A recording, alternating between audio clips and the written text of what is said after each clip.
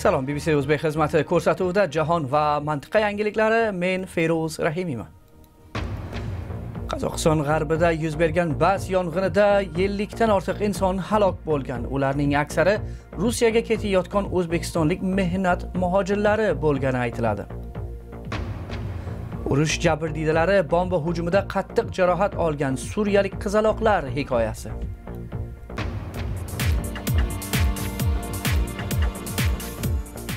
و انانوی افغانستان در مدل کلیش کنچلار آسان.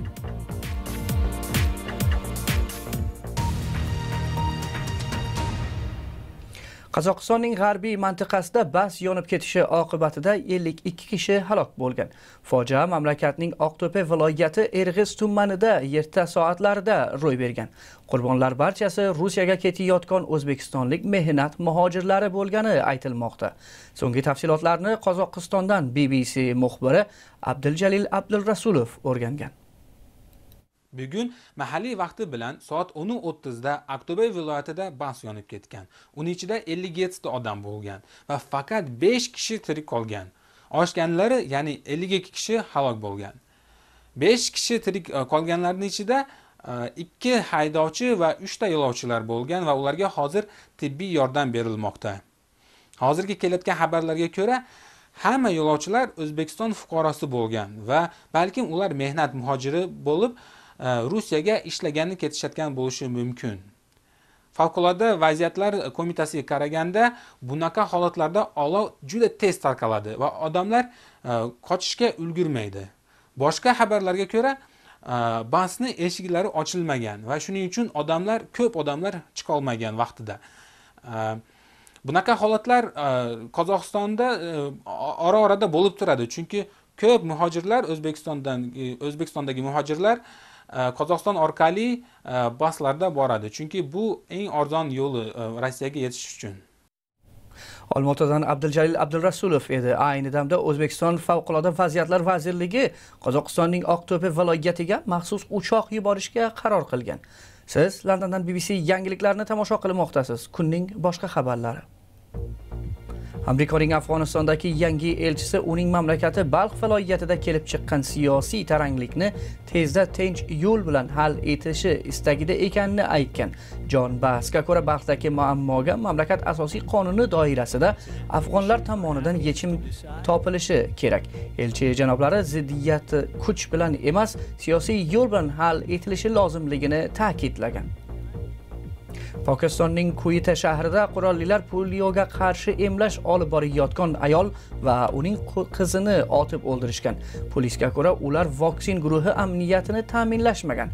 O'tmishda tibbiy xodimlar bilan amniyatiy kuchlar yuborish ko'proq e'tiborni jalb etib ko'proq xatar tug'dirgan. Portugal va ispaniya polisi xalqaro bangivor modalar qochoqchilari halqasini buzishga qodir bo'lgan. Qochoqbarlar janubiy amerikadan kokain olib kelishda meva quttilaridan foydalangan.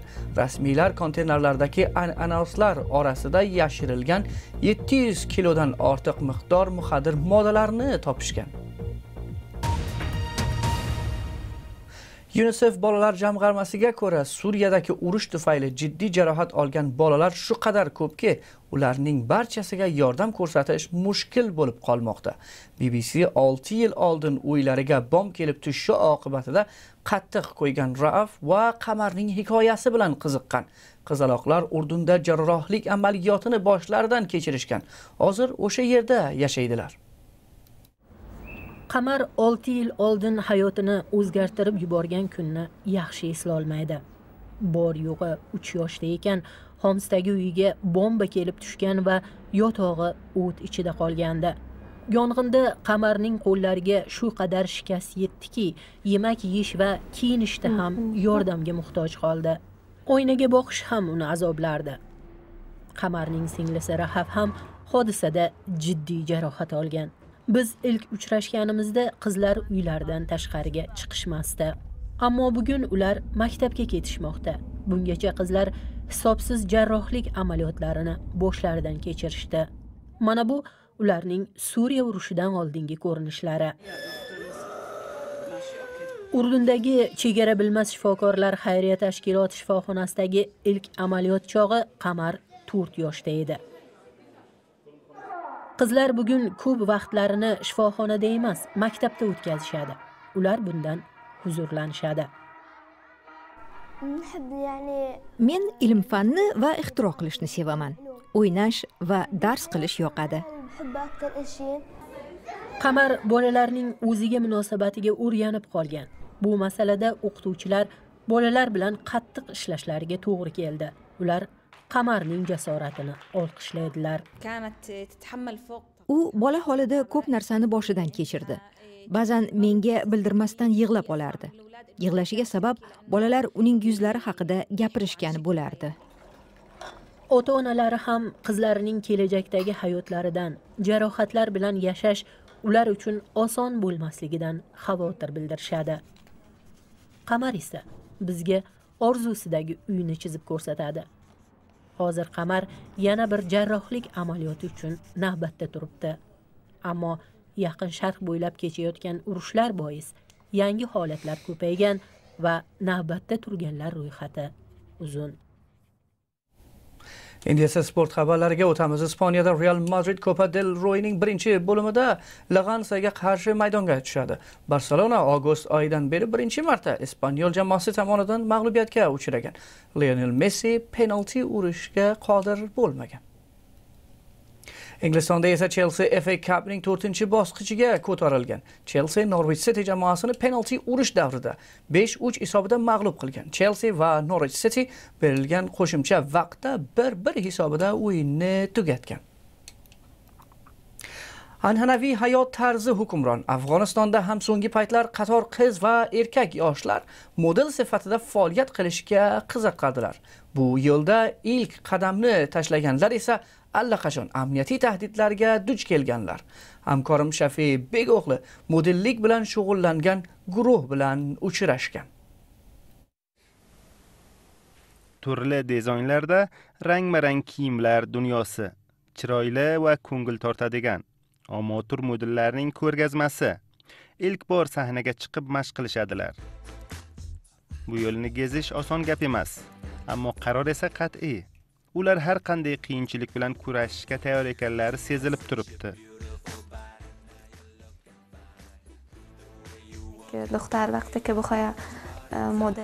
Bir qiz model bo'lishni xohlashi esa nomumkin. Yo'qsa sunnatni sindirish kerak. Oilalar qizlarning model bo'lishini istamaydilar. Oilani rozi qilsa ammo jamiyat uchun qabul qilinarli emas. Model shug'uli bilan band bo'lgan bu qizlar kelajagi noaniq va sonlari oz ammo umidlari katta. Afg'oniy kiyimlar rivojlanishi uchun ko'proq mana bu modellar sa'y harakat qilishmoqda. O'tmishlarda bu kiyimlar ko'proq to'y marosimlarida kiyilsa hozirgi kunga kelib bu liboslarning soddarog'i daftarlar va rasmiy yig'inlarda kiyilmoqda. Ammo shunga qaramasdan hali ham afg'on xalqi orasida umumiylashmagan bir narsa hisoblanadi. Injilo esa kobuldagi modeling guruhi boshlig'i. Ikki oy oldin notanish kishilar tomonidan yaralandi. Tan jarohati hali ham toza men